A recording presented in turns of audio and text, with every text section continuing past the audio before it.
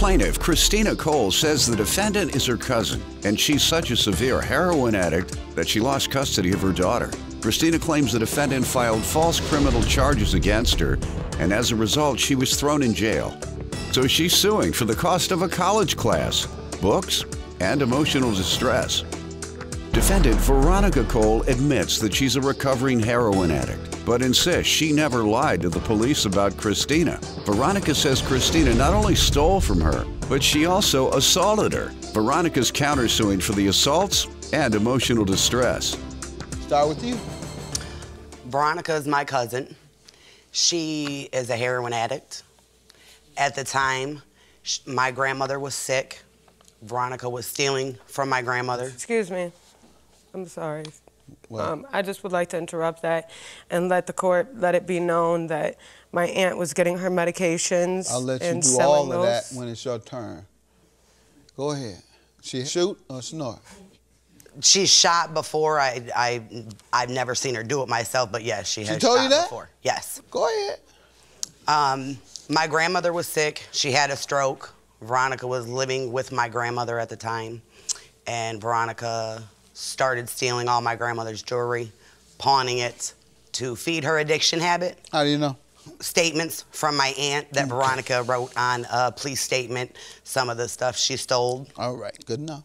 One of the rings that she reported on the false charges that she pressed on me was on that police report. Okay. Um, I had custody of Veronica's daughter at the time that she lost due to her heroin addiction. Okay. Um, my grandma's funeral was July 30th of 2013.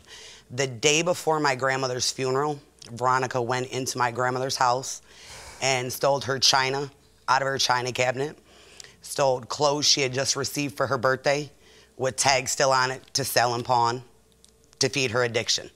The next day at my grandmother's funeral, Veronica came in. Nobody wanted her there because what she'd done the night before. And Veronica caused a big scene in the funeral home, grabbed my grandmother's casket to the point it was shaking. And the funeral directors called the police and had her removed from my grandmother's funeral and told her she couldn't come back. If she did, she was gonna go to jail. That's when her vendetta started against me, and she went and filed two false police reports on me August 1st of 2013 and August 4th of 2014. Okay. Saying what?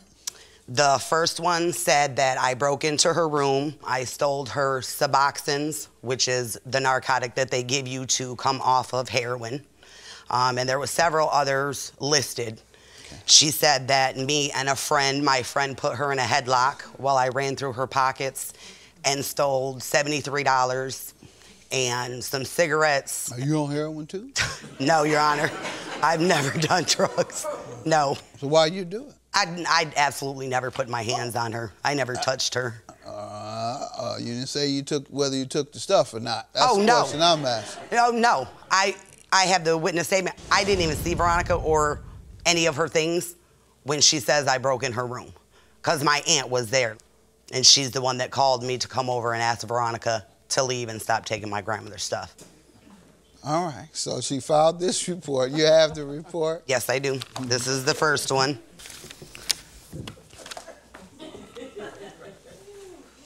All right.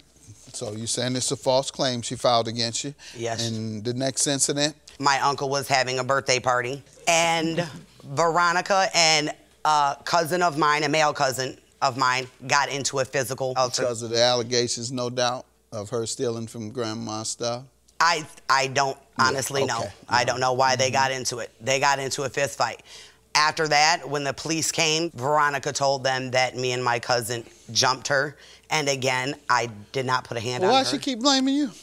because she thinks she's blaming me for being kicked out of my grandmother's funeral. She says it's my fault that she was kicked out of the funeral home. Were other people um, arguing and fussing? No, not that day. Just she's the only one disrupted. Mhm. Have my nieces in here today, and her mom passed recently, and I had dinner with the immediate family. And the first thing I said to them, you all just make sure you make a commitment to yourselves because a lot of tension, there's a lot of stress, there's a lot of pressure, and you you know, hurt kind of is um, goes along with anger. You know, it comes out at the funeral. All right, and so she alleged that you did that and filed a police report again. Another police report, Let's yes. see that. And they got to arrest you at some point. Now you keep doing all this. When did they arrest you? I found out I had a warrant. There you go. Yep. See there? And I turned myself in on August 8th. That's what's supposed to happen. Messing with this woman. Let me hear her side. Me and Christina, we were very close at one point. Um, and where our relationship started going sour, her daughter had stayed with me.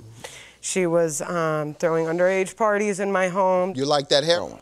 I mean, I am a recovering heroin addict, Good. yes. You said I- the right way. All right. Yes, I am a recovering heroin addict. Good. Yes, it was Suboxone that did come up missing out of my room. Yes. Good. All right. I'll give you uh, credit for that, and I won't refer to you in any terms that uh, might be degrading Yes, sir. because you're you have been working on changing your uh, life. Good.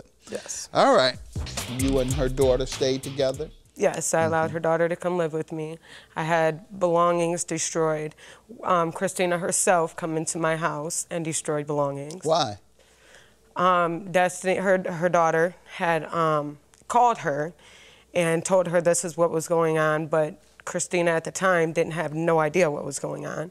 So she come into my home and destroyed my belongings, leaving letters on my refrigerator, um, just Saying what? uh, telling me that I couldn't eat anything in my refrigerator. Me and my child couldn't eat Saying anything. you couldn't eat anything. In my own refrigerator, yes, correct. What about the allegations that you filed a false police report against her? Yes, I got a phone call that the lock was pried off my bedroom. Um, I got there, they said it was, you know, her and her They whom? um, family members. It states in the They in the there? police report. Yes, it states in the police report that they remain they would like to remain anonymous. Let me see your police report. Said they would like to remain anonymous, Yes, but they talk directly to the police, the anonymous people. yes, yes, No, they didn't. yes, they did. I don't see that, man. What is, you tell me, you read where it says they said they want to remain anonymous. That's what she told them. Which That's what she told. police She report. did tell them. She- you- she- That's in the police report. All right, good enough. Let's get to the Several next incident. family members whom wish to remain anonymous stated that suspect one, Christina, broke into the room and with the All right. assistance of suspect two. And she said you're the one that told the police they want to remain anonymous. So, and that goes with the false allegation. That's what she's saying. Yes. All right. Did they arrest her for that, or track her down? Or Um, as far as I know, nothing was pursued. I never went and actually you put didn't charges. get your things back? Huh? Did you get your things No. back? No, I left Why well enough you- alone. I moved on with my life. Okay, you just let it go. Yes. All right. Next incident. All right, the next incident was the assault on August 4th. Mm-hmm. One cousin had attacked me. Christina, being with him, um, come for me as well. All right. And the police came. They put a warrant out on her, and she turned herself in later. Um, I, I was not aware of that, Your Honor, no. After being attacked, you have no idea what the police ever did. No. You just keep filing charges against her Yes. What else am I supposed and not to do? following up. All right. So when you went to turn yourself in, what occurred? Um, I went to jail. I was placed in a public Crime Times magazine stating Really? that I put her in a headlock. Em- embarrassing. Um, I went to court over 10 times. And from me going to court, I was actually in college at the time. I was in a fast track program. Under the agreement, I couldn't miss more than two classes a semester. And because of going back and forth to court and being in jail, I missed four classes and I failed that class. And now I have to pay to go back. Um, and That's after part of your emotional distress as well. Why did you have to go to court so many times? because she refused to show up and I was going like separate days for both charges in which I have here every See, they should court have date. dismissed it the first time she didn't show up. Every court date, every What city is this? Toledo, Ohio. They should have dismissed it the first time she failed to show. Ma'am, were you aware that she was being prosecuted? No, and the, the This is one. the first time you're the- hearing it? Yes.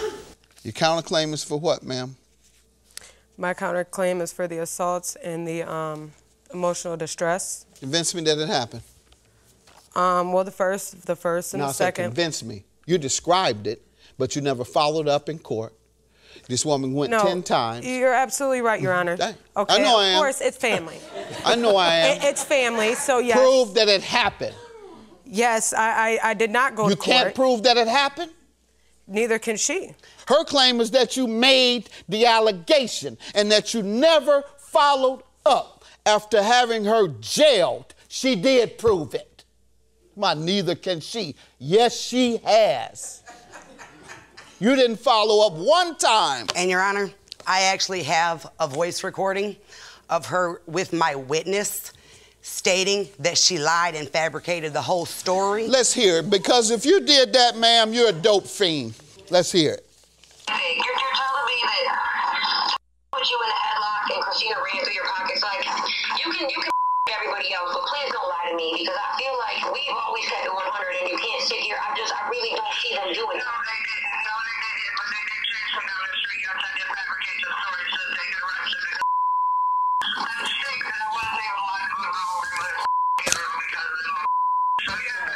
You hear what you said, dope fiend? You said I did fabricate the story. You ripping off your own grandmama to get high. Yeah, get out of here. Your claim is dismissed. Yours is granted. Have a good day. Karma's isn't it, Veronica? You send me to jail, get me kicked out of school. How's it feel? You know what you crackhead? did, okay? I- you yeah, told me you three too. times. Three times. Not Okay, once, but not I twice. fabricated, three. right? I might be a heroin addict, but you're the one that's in the wrong. I did, but you're the one that lied on tape.